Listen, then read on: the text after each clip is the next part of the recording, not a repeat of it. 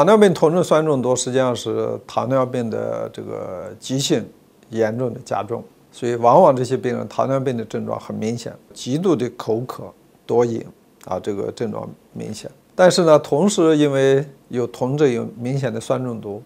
所以一旦到酸中毒了以后呢，他的食欲就明显的下降，甚至会出现恶心、呕吐这些情况啊。另外呢，因为这个恶心呕吐，这个可能又不能喝水，那厌食，再加上这个明显的多尿，所以病人呢往往有明显的脱水。所以这个时候我们要检查的时候，就病人发生这种四肢冰冷等等这些情况。那么还有一个比较特殊的表现，因为身体里面有比较多的酮症，那么这些酮体呢，这个可以随着呼吸呼出来，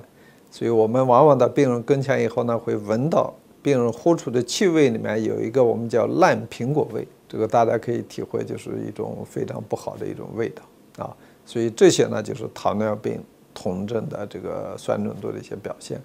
那么要特别要提到的，糖尿病酮症酸中毒是一个比较严重的糖尿病的状态，应该呢要积极的救治，因为这个如果说要延误治疗，可能会危及到病人的生命。